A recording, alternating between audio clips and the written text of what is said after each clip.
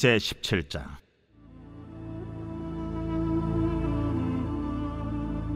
문하세 지파를 위하여 제비 뽑은 것은 이러하니라.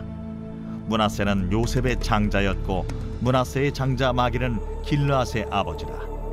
그는 용사였기 때문에 길르앗과 바산을 받았으므로 문하세의 남은 자손을 위하여 그들의 가족대로 제비를 뽑았는데 그들은 곧 아비에셀의 자손과 헬렉의 자손과 아스리엘의 자손과 세겜의 자손과 헤벨의 자손과 스미다의 자손이니 그들의 가족대로 요셉의 아들 문하세의 남자 자손들이며 헤벨의 아들 길르앗의 손자 마길의 증손 문하세의 현손 슬로브핫은 아들이 없고 딸뿐이요. 그 딸들의 이름은 말라와 노아와 호글라와 밀가와 디르사라 그들이 제사장 엘르아살과 눈의 아들 여호수아와 지도자들 앞에 나와서 말하기를 여호와께서 모세에게 명령하사 우리 형제 중에서 우리에게 기업을 주라 하셨다. 함에 여호와의 명령을 따라 그들에게 그들의 아버지 형제들 중에서 기업을 주므로 요단 동쪽 길르앗과 바산 외에 문하세에게 열 분깃이 돌아갔으니 문하세의 여자 자손들이 그의 남자 자손들 중에서 기업을 받은 까닭이었으며 길르앗 땅은 문하세의 남은 자손들에게 속하였더라.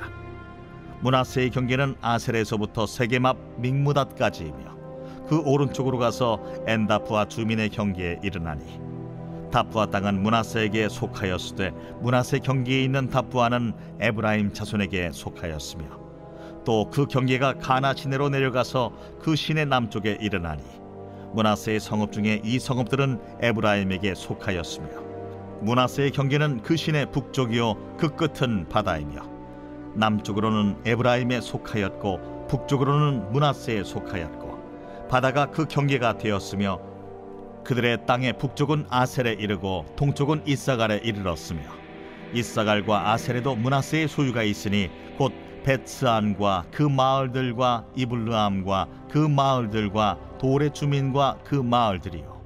또 엔돌 주민과 그 마을들과 다낙 주민과 그 마을들과 무기토 주민과 그 마을들 세언덕 지역이라. 그러나 문하세 자손이 그 성읍들의 주민을 쫓아내지 못하며 가나안 족속이 결심하고 그 땅에 거주하였더니 이스라엘 자손이 강성한 후에야 가나안 족속에게 노역을 시켰고 다 쫓아내지 아니하였더라. 요셉 자손이 여호수아에게 말하여 이르되 여호와께서 지금까지 내게 복을 주심으로 내가 큰 민족이 되었거늘 당신이 나의 기업을 위하여 한 제비 한 분깃으로만 내게 주심은 어찌함이니까?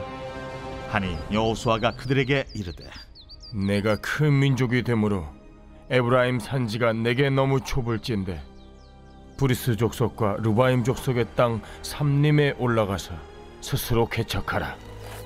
그 산지는 우리에게 넉넉하지도 못하고 골짜기 땅에 거주하는 모든 가나안 족속에게는 벧 스안과 그 마을들에 거주하는 자이든지 이스라엘 골짜기에 거주하는 자이든지 다 철병거가 있나이다.